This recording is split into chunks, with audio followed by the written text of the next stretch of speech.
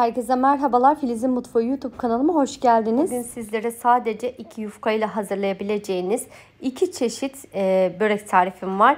Buyurun yapımına başlayalım.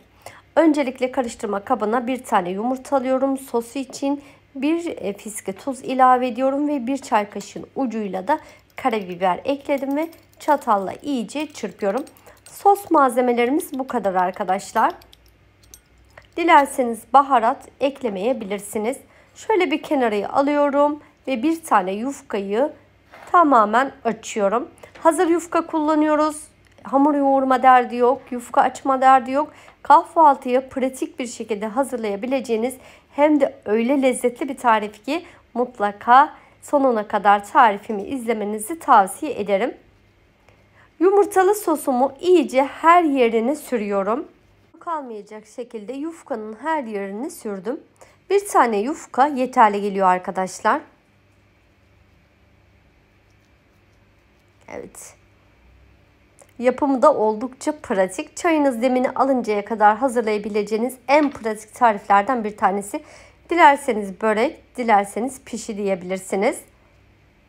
Şöyle birkaç tutam maydanoz serpiştiriyorum. Çok aşırı fazla eklemeyin arkadaşlar. Şöyle de tulum peyniri rendeledim.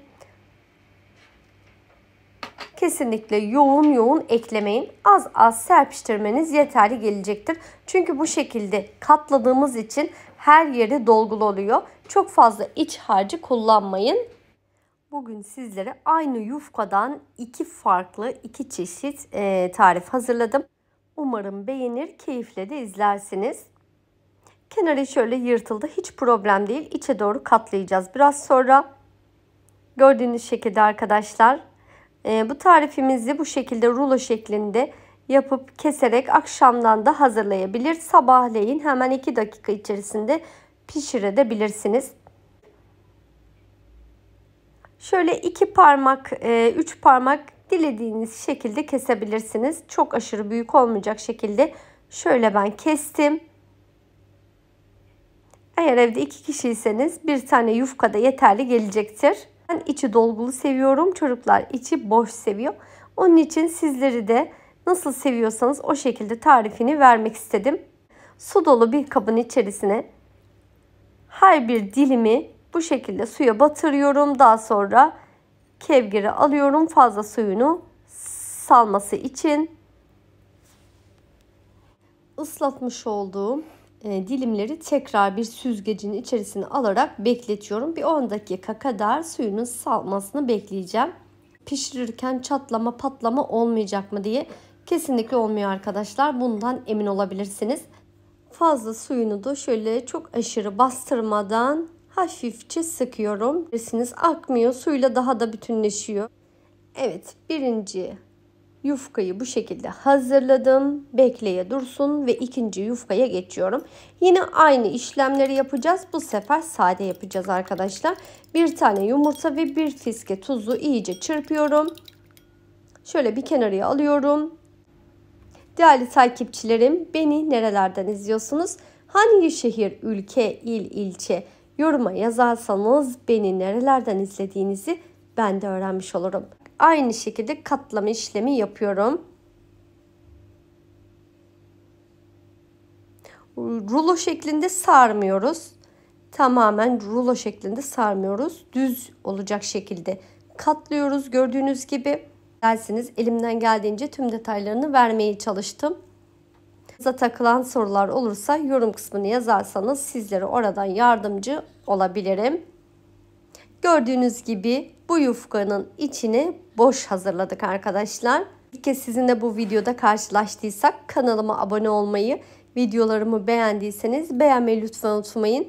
Bir de bildirim zilini açarsanız en yeni birbirinden lezzetli tariflerimi ilk önce siz haberdar olursunuz. Sadece daldırıp çıkartıyoruz. Videoda gördüğünüz gibi arkadaşlar. Pişirme işlemine geçiyorum. Kızgın yağın içerisine şöyle pişilerimi, pişi böreklerimi alıyorum. Bakın arkadaşlar hiçbir şekilde patlama yok.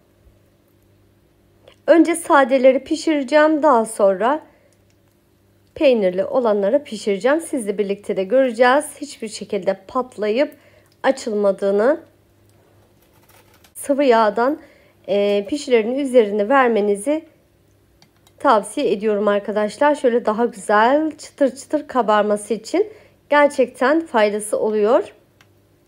için bu da önemli bir püf noktasıdır. Daha sonra tekrar çevirerek her iki tarafını da kırmızı oluncaya kadar kızartabilirsiniz. Pratik tariflerimi çok beğeniyorsanız bir yenisini daha ekledim. Kaydetmeyi, beğenmeyi, sevdiklerinizle paylaşmayı unutmayın. Nasıl güzel kabardı sizler de göre, görebiliyorsunuz. Şöyle çok da güzel kızardılar. İpek gibi kıvamı, kat kat muhteşem bir poş pişi tarifi.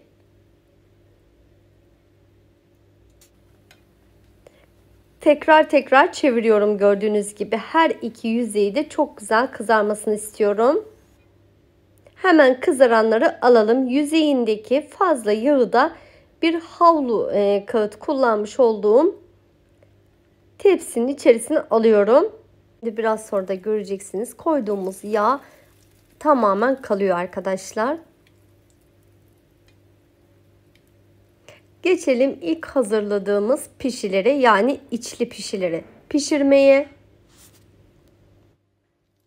Mutlaka yağ kızgın olması gerekiyor.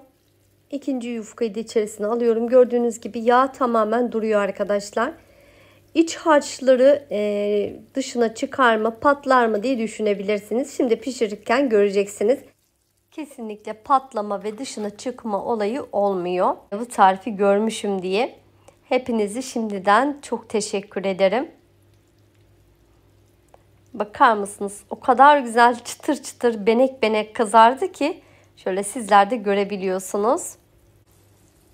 Şöyle e, tavayı sallayarak pişiriyorum ki yağ her yerine gelmesi için.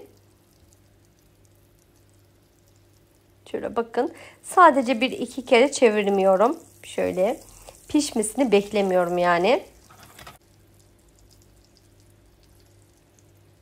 Evet, içli pişilerim de pişti.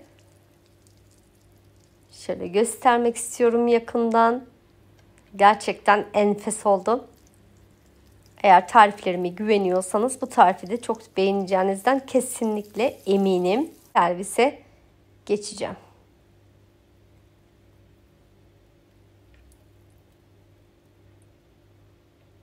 Şöyle çok güzel kabardı. Domates, peynir, Oh mis. Dilerseniz boş, dilerseniz içli yapabileceğiniz iki tarif verdim bugün sizlere. Şöyle yakından da göstermek istiyorum. İçli pişilerimizin görünüşü bu şekilde. Boş pişilerimiz de bu şekilde. Boş pişileri dilerseniz üzerine pudra şekeri serpiştirebilirsiniz. O şekilde de çok lezzetli oluyor. Çikolata ve reçelle de tüketebilirsiniz. İçli pişilerimde gördüğünüz gibi efsane. Bölerek de içini göstereyim. Kat kat. İnanın kaç tane yiyeceğinizi sayamayacaksınız. Taze soğan da serpiştirebilirsiniz. Boş pişinin içerisini de göstermek istiyorum.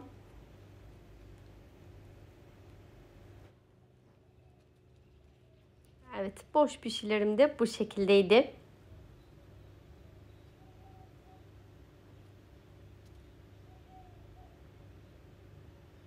Bir güzel tarifimin daha sonuna geldim. Beni buraya kadar izlediğiniz için çok ama çok teşekkür ediyorum. Bir sonraki bomba gibi tariflerimde görüşmek üzere. Hoşçakalın.